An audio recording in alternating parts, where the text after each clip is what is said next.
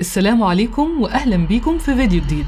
تخيلوا يكون في إمام جامع بيصلي الوقت بوقته وبيدي دروس في تحفيظ القرآن في المسجد وكل الناس بتحترمه وتقدره وفي الآخر يطلع شيطان بميت وش شيطان بيمارس أمور السحر والشعوذة والأدهى من كل ده إنه بيخطف الأولاد الصغيرين وقاتل بدم بارد. قصتنا النهاردة هي قصة حقيقية حصلت في الجزائر سنة 2003 وقتها القصة دي عملت ضجة كبيرة جدا في الجزائر وكانت حديث كل الناس. وزي ما أنتوا عارفين أنا مش بعمل قصص عربي خالص لكن القصة دي تحديدا في متابع عزيز جدا دايما في التعليقات بيطلبها. فأنا قريتها وعجبتني ولقيت إن هو فعلا عنده حق يطلبها لأن القصة قوية جدا. ولأن أنا مش بعمل قصص عربي لأسباب كتير فأنا المرة دي استعنت بكاتب ودي تعتبر أول مرة في حياتي حد يكتب لي. بس طبعا أنا عدلت شوية حاجات عشان أعرف أقولها بطريقتي. المهم هحط لكم المصادر اللي هو استخدمها وضروري ضروري تقولوا لي رأيكم في نوعية القصص دي يعني يمكن أعملها تاني. وأحب أستغل الفرصة دي وأهدي تحية خاصة جدا لأهل الجزائر. تحية لبلد الأحرار بلد المليون شهيد. وخلينا نبدأ في قضية النهارده. القصة بتبتدي سنة 2003 في الجزائر قدام مديرية أمن مدينة الجلفة. يومها ولد عنده 14 سنة راح يتكلم مع عسكري واقف قدام مديرية الأمن.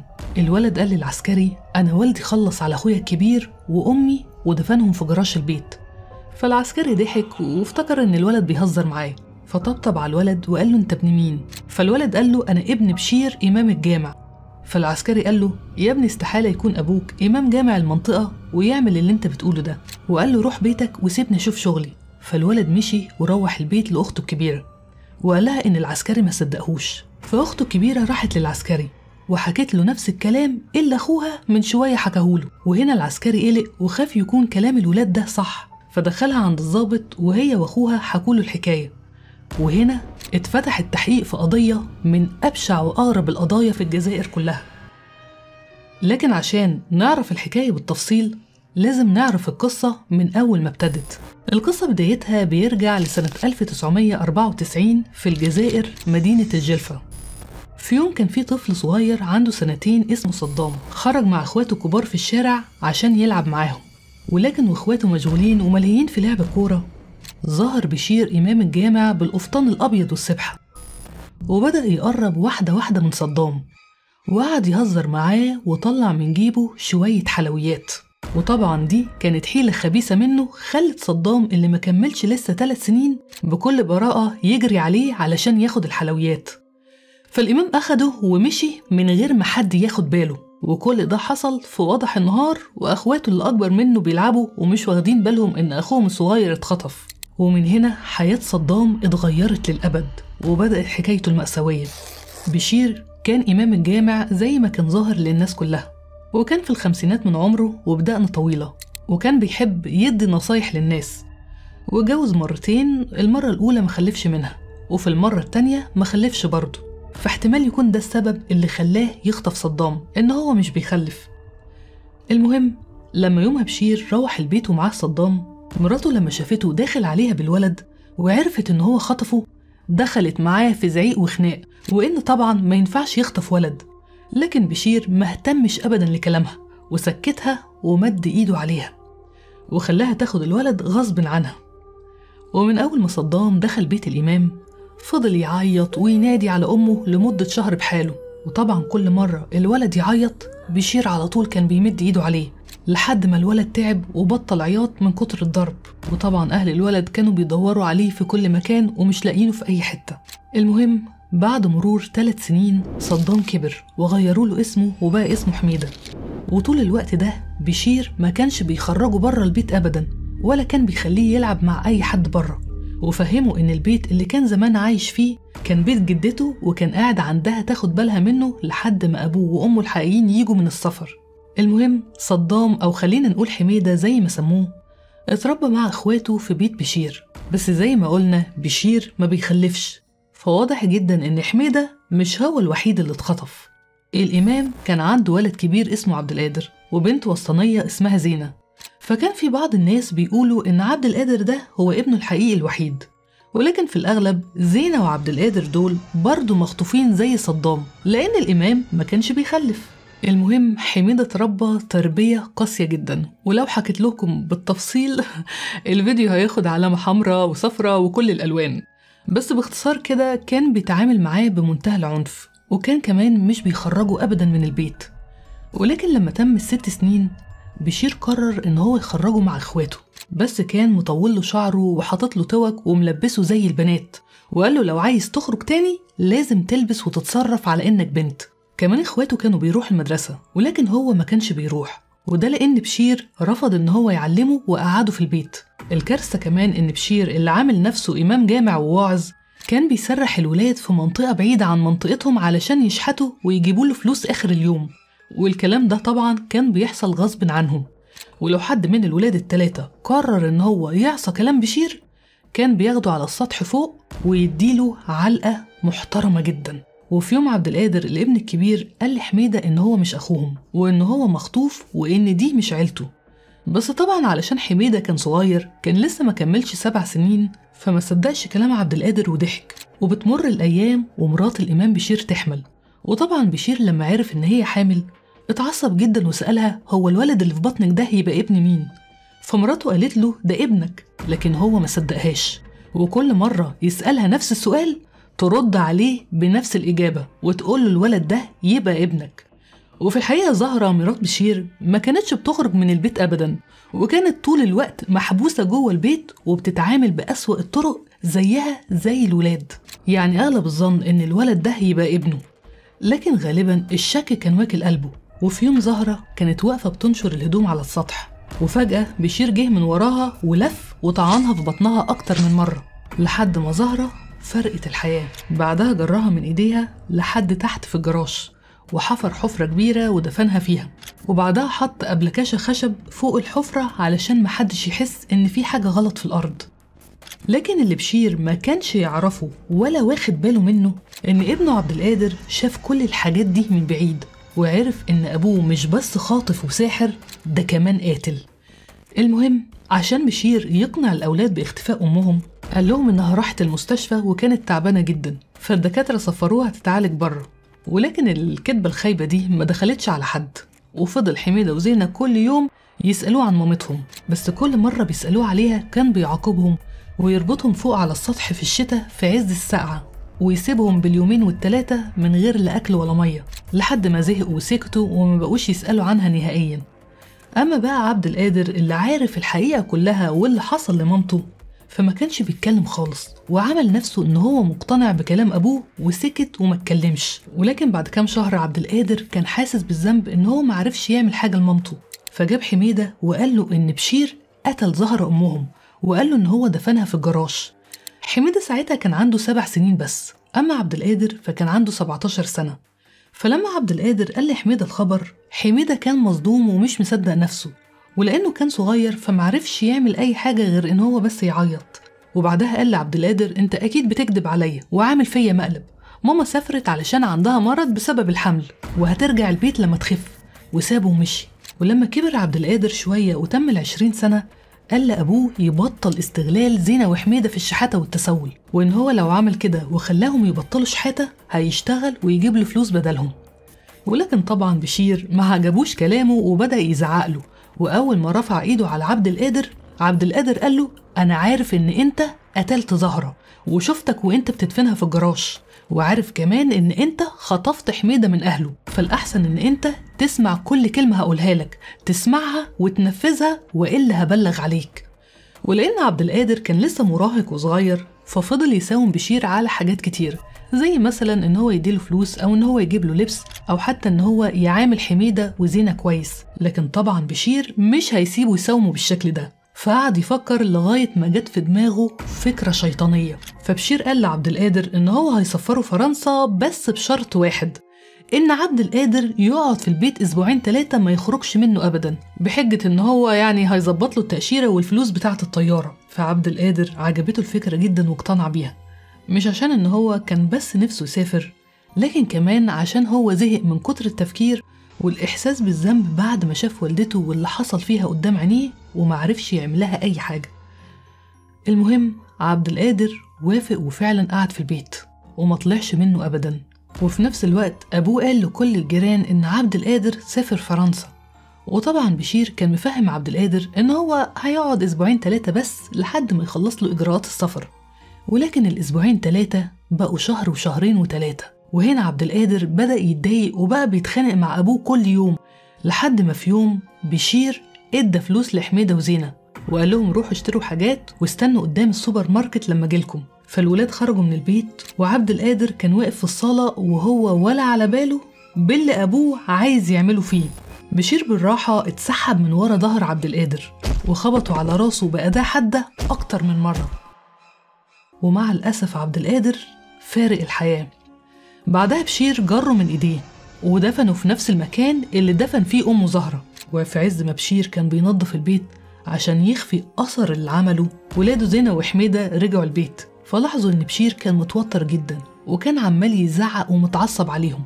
فهم سألوه عن عبد القادر راح فين لأنهم مش لاقيينه في البيت. فقال لهم برضو على كدبة خايبة جدا وهي إن أمهم جات البيت وهم بره وأخدت عبد القادر وسافروا هما الاتنين فرنسا. وادالهم ورقة كان محضرها وكاتبها من اليوم اللي قبله. المفروض إن الورقة دي رسالة من أمهم. بس حميدة اللي بقى عنده دلوقتي 14 سنة وأخته اللي عندها 16 سنة ما كانوش مصدقين كلامه. واللي أكد إحساسهم ده إن حميدة وزينة وهم رايحين لغرفتهم لقوا آثار دم في الطرقة وعلى السلم بتاع البيت. فحميدة رجع تاني وسأل بشير هو إيه الدم ده؟ فبشير قال له لا ما تاخدش في بالك ده أنا بس دبحت فرختين بمناسبة إن أمكم جت البيت. لكن في نفس اليوم بالليل زينة لقت هدوم أخوها عبد القادر متعلقة في السطح وعليها آثار دم. ولما زينة سألت بشير عن الدم ده قال لها إن عبد القادر كان بيساعده في تقطيع الفرختين لكن كلامه ما كانش منطقي أبدا. فزينة وحميدة شكوا أكتر فيه وقرروا إنهم يراقبوه وبعد ما راقبوه لمدة كام يوم عرفوا إن كل يوم بالليل بعد ما هما بيناموا ويقفل عليهم الغرف بتاعتهم كل يوم بتجيله ستات بحجة تفسير الرؤية والأحلام. ولكن الحقيقة إن هو كان بيعلمهم أعمال وسحر وشعوذة. وعرفوا إنه عنده كتب كتير للسحر والتعويذ. ودي كانت أول صدمة حقيقية يشوفوها بعينيهم ويكتشفوها عن أبوهم إمام الجامع اللي بيخطب كل يوم الجمعة. وبيدي دروس دين وبيحفظ قرآن وبيتكلم بقال الله وقال رسول. وفي الآخر يطلع ساحر ومشعوذ. المهم تاني يوم حميدة واجه بشير باللي هو عارفه. ولكن طبعا بشير عمل في حميدة اللي ما يتعملش. ربطه بالحبل فوق في السطح. وقعدوا من غير أكل ولا شرب لمدة يومين. ولما زينة أخته طلعت له أكل وشرب أبوها شافها وهي طالعة. فربطها معاه وإدالها هي كمان علقة سخنة. المهم بعد فترة زينة وصدام رجعوا يراقبوا بشير من تاني ويقروا الكتب اللي مخبيها علشان يعرفوا إيه حكاية الكتب دي. فاكتشفوا إنها كتب سحر وتعويذ. فتقريبا كده زينة وحميدة ما كانوش يعرفوا في الأول لما قروا الكتب إن الكتب دي كتب سحر لأنهم بعد ما قروها كانوا بيشوفوا كوابيس مرعبة وحسوا بدوخة وأعراض غريبة. طبعا أنا معرفش هل دي كانت مجرد صدفة ولا الموضوع كان بجد إن هم حصلت لهم الأعراض دي بعد ما قروا الكتب.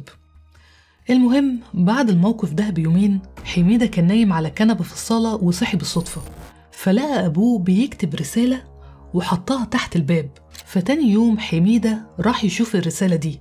فاكتشف إنها المفروض إنها جاية من مامته. ودي كانت الصدمة التانية للأولاد إن بشير هو اللي بيكتب الرسائل دي مش أمهم. وهنا حميدة افتكر كلام أخوه الكبير عبد القادر إن بشير قتل أمهم زهرة ودفنها في الجراج. فحميدة قرر إن هو ينزل الجراج ويكسر القفل اللي عليه. لما دخل بدأ يشيل الأبلكاشة اللي على الأرض وهو بيشيلها شم ريحة في منتهى الفظاعة. ولما شالها خالص شاف صوابع أخوه وبقايا رفات من جسم والدته. طبعا لكم أن تتخيلوا إحساسه وقتها كان عامل إزاي بعد المشهد الصعب ده. المهم حميدة قفل الأبلكاشة وخرج من الجراج وحط قفل جديد زي اللي كان موجود. وقتها حميدة حكى لأخته اللي هو شافه وكان حاسس باليأس والحزن الشديد على مامته وأخوه. فطلع فوق في السطح وكان عايز ينط من فوق السور. ولكن لستر ربنا إنه قبل ما يعمل كده بثواني أخته دخلت عليه وهدته ورجعته لصوابه مرة تانية. وبدأوا يفكروا هما الاتنين يعملوا إيه في المصيبة دي. هل يهربوا من البيت ويمشوا ولا يقولوا لحد من قرايبهم؟ لكن المشكلة إن هما بعد كل اللي شافوه ده ما بقاش عندهم ثقة في أي حد. إذا كان أبوهم إمام الجامع اللي بيئم بالناس طلع بالشكل الفظيع ده فإزاي هيثقوا في أي حد؟ المهم وهم واقفين على السطح بيفكروا كان في في وش البيت مديرية أمن الجلفة. فالولد فكر إن هو يروح للمديرية ويقول لهم على اللي حصل. وبالفعل راح وحكى للعسكري لكن العسكري ضحك عليه وما صدقهوش لأن كمان حميدة كان متوتر جدا وكان بيتلجلج في الكلام وهو بيحكي. لكن لما زينة أخته راحت وحكت اللي حصل العسكري دخلها للضابط المختص جوه وعلى الرغم من إن الضابط كان شاكك في صحة أقوالها إلا إن وشها الأصفر ورعشة جسمها وهي بتتكلم خلاه يحس إن كلامها ممكن يكون صح. ولأن ساعتها أبوها كان إمام جامع وله مكانته في المدينة فالضابط قرر إن هو يروح لبشير لوحده ومعاه عسكري واحد بس. وبشكل ودي كده يعني يسأله إن هو يفتش البيت. لكن طبعا الضابط لما راح بشير قعد يزعق فيه وقال لهم إن هو إمام جامع وراجل دين وإزاي يعملوا معاه كده؟ وخصوصا كمان إن بشير كان له علاقات مع ناس مهمة من اللي بيزوروه في الجامع أو من اللي بيدوله تبرعات. ولكن الضابط كان ذكي وداوى الموقف لما قال له إن ده يعني مجرد إجراء روتيني لأن أنا في حالة طوارئ. وقال له إن الموضوع مش هياخد أكتر من عشر دقايق بس.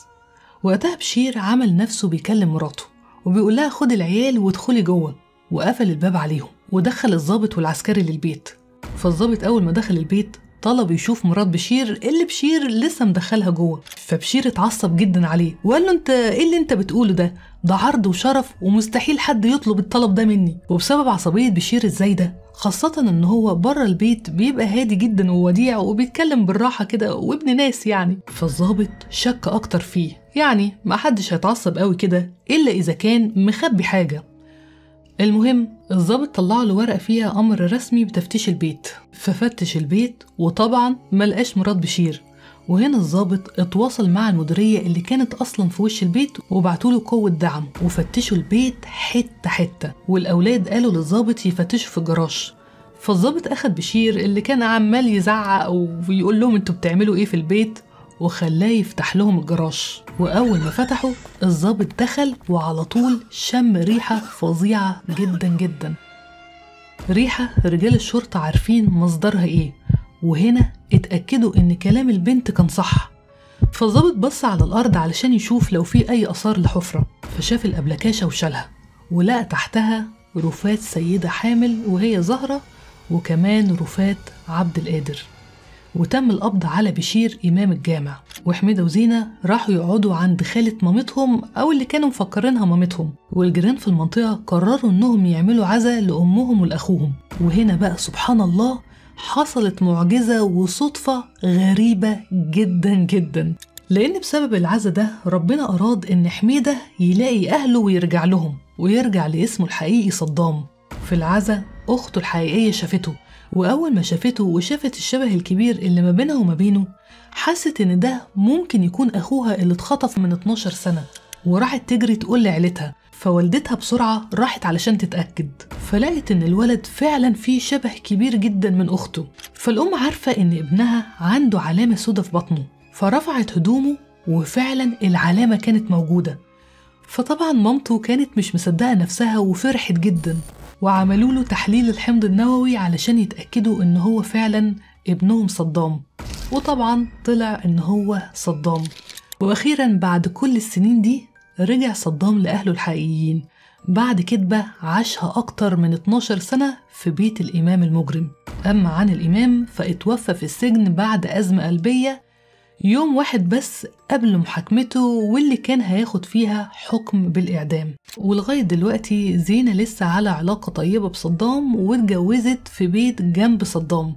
لكن في الحقيقة القصة دي فيها أجزاء ملهاش إجابة زي مثلا هل زينة كانت مخطوفة ولا كانت بنته الحقيقية؟ وهل برضو عبد القادر كان ابنه ولا كان مخطوف هو كمان؟ طبعا القصة دي فيها عبرة ودرس مهم جدا وهي إن مع الأسف أصبح دلوقتي ما ينفعش تخلي أولادك ينزلوا يلعبوا في الشارع من غير ما يكون في حد كبير وواخد باله كويس منهم لأن مع الأسف الدنيا ما بقاش فيها أمان. وما تنسوش تقولوا لي رأيكم في قضية النهاردة وضروري تقولوا لي رأيكم في محتوى القضايا العربي. وأشوفكم على خير في فيديو جديد. مع السلامة.